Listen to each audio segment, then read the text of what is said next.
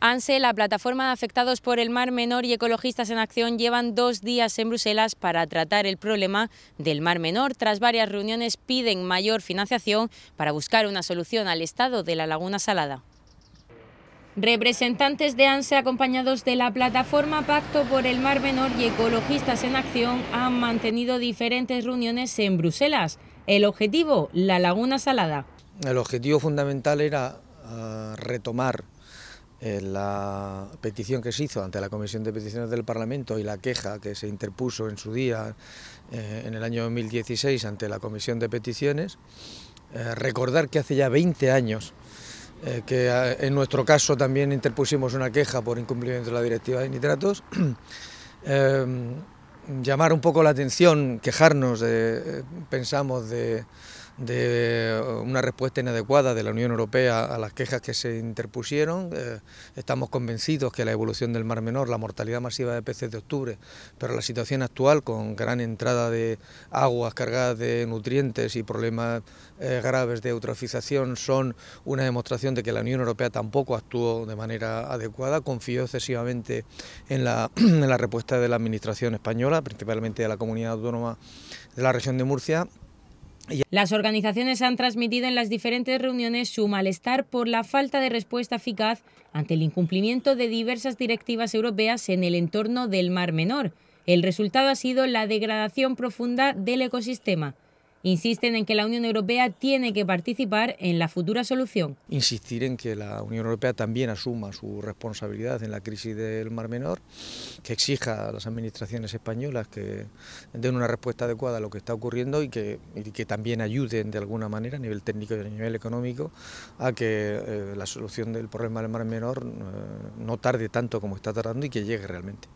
Según ellos, el presupuesto regional presentado recientemente no aporta soluciones al problema. Bueno, sin necesidad de que se produzca ninguna lluvia torrencial, eh, lo que el Mar Menor está recibiendo y la situación en la que se encuentra es suficiente como para que con el aumento de las temperaturas se produzca un, empeoramiento y un empeoramiento importante. Y con la previsión de actuaciones por parte de las administraciones, Hemos tenido durante el viaje oportunidad de, echar un vistazo a los presupuestos de la comunidad autónoma para el Mar Menor y desde nuestro punto de vista, en general, eh, lo que se plantea no va a solucionar en absoluto la llegada de aguas. Insisten en que repetir lo que no ha funcionado anteriormente no va a solucionarlo. Eh, muchas de las medidas van más destinadas a repetir infraestructuras que se han hecho hasta ahora y que no han servido para nada, por ejemplo los famosos tanques de tormenta, hay cuatro nuevos tanques de tormenta. Hay medidas que pueden ser interesantes de recuperación de fauna, pero que no, no afectan al origen del problema. A pesar de su decepción inicial por la falta de eficacia de las instituciones europeas de los últimos años, creen que tanto los europarlamentarios como los cargos institucionales de la Comisión y el Parlamento están más sensibilizados con el grave deterioro del ecosistema del Mar Menor.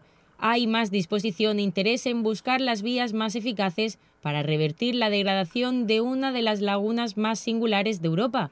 Ellos tienen algunas soluciones poner en marcha un filtro verde de grandes proporciones que podría recibir todas las aguas que entran superficialmente al menos en la zona oeste de la laguna, lo que entra por Marina del Carmolí y lo que entra por la Rambla del Albujón y eh, aprovechando una infraestructura en desuso que sería la antigua depuradora del Algar, perteneciente al municipio de Cartagena, y que desde, nuestro punto de vista podría ser una actuación relativamente urgente, no inmediata. Siempre hemos dicho que las actuaciones inmediatas en general no han sido acertadas y, no afectaban al origen del problema. Y como, como infraestructura mm, útil desde nuestro punto de vista, esa sería la, más importante, que requeriría además una compra o expropiación de bastantes decenas de hectáreas de agricultura intensiva que pasarían a convertirse en un espacio natural que haría funciones de eh, mediante vegetación autóctona. Para explicar las posibles soluciones que aportan, piden diálogo e inversión y se felicitan por lograr el compromiso de la Unión Europea manteniendo la petición por el Mar Menor abierta.